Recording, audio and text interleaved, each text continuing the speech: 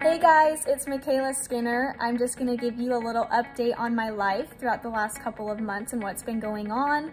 With this whole coronavirus thing, my life has been flipped upside down and has changed tremendously and it's been super crazy, but I have decided to defer my senior year at the University of Utah again to keep training for the Olympics. I have come so far in the last couple of months trying to prepare for this and I feel like I can't really give up on that dream quite yet. So I've been going into the gym. I mean, the last two months it's been shut down, so I've been going in by myself. We got permission to do that. So I just got to practice. I'm gonna show you guys a little tour of my gym and where I train. It's almost nine o'clock. Gym starts at nine. So before we go into the gym, we always have to put our masks on, so we gotta mask up first. Already.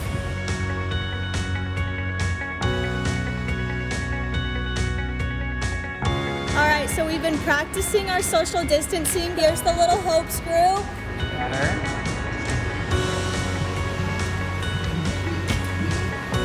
This is my coach, Bob.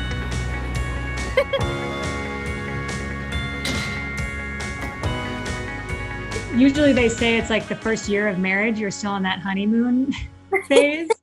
Your guys' first year of marriage has been insane, right? You got married in November?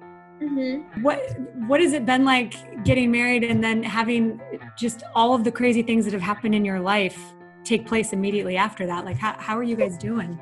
Um, we're doing pretty good. Usually in the summer he's gone, so like all like when we first got married, we were with each other like every single day. And it was actually like kind of fun with the quarantine because I was in the gym by myself. So like he would come in with me and like move my mats and you know do videos for my YouTube channel. So that was like really fun to be able to like spend that much time with him. We're gonna teach Jonas some gymnastics. We've dated for two years, been married for five months now.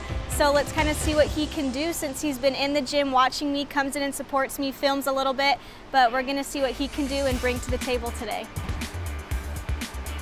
Okay, what do you guys think? I think that's not too bad. Okay, now you need to sit back more. So you're up over your butt, so you're not like this. You have to be up over the top. I'm trying. this one actually is dangerous. They don't have grips on. It didn't look that hard.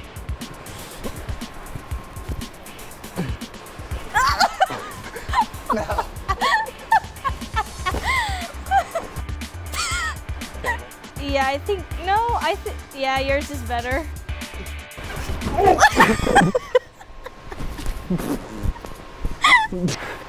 What'd I do? I don't even know. Okay. I just kind of wanted to get on here and give you guys another little update on life.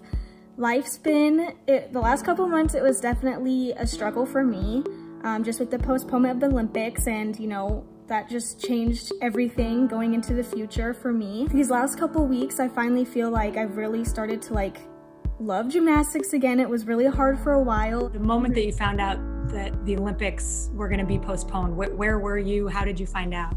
I was on my way to practice and my husband calls me and goes, the news is out, the Olympics is postponed for another year. And I was just like, you're kidding, like you're messing with me. Like this, they, they said they're gonna take like a week or two to like figure everything out and it kind of like slipped out earlier than was planned. And so like it really just shocked me. And I just kind of went through my day at practice and I just kind of like was so mad about it that I just kind of like had a good practice, got my anger out, and then it didn't hit me till the next day. And I was just kind of like, this sucks. You know, I was just planning on having a year to train. And I mean, I am 23, that's kind of, you know, older for gymnastics. And it's kind of scary thinking about like trying to keep my body healthy for a whole nother year of elite gymnastics. You know, everything was going so well and I was pushing so hard for, you know, the Olympics to be in two months and then to be able to move back to Utah and, you know, buy my first house with my husband and finish school. So a lot has changed and it has been really hard and difficult at times, especially to like stay motivated in the gym and to keep working really hard. But I think I really have a shot at this and it's always been my dream. And I just really want to try to achieve it while I can before it's too late. Yeah!